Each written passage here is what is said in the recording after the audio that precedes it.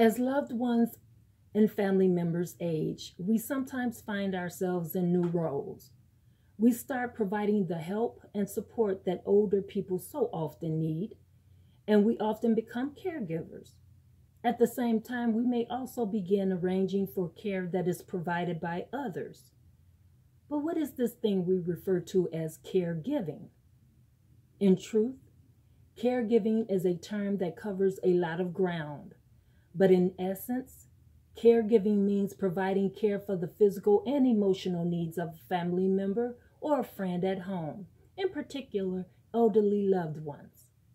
So if you are taking on an additional role as a home caregiver, here are some important aspects to keep in mind. As a loved one becomes older, there are certain considerations and arrangements that need to be made. But it's often awkward to begin the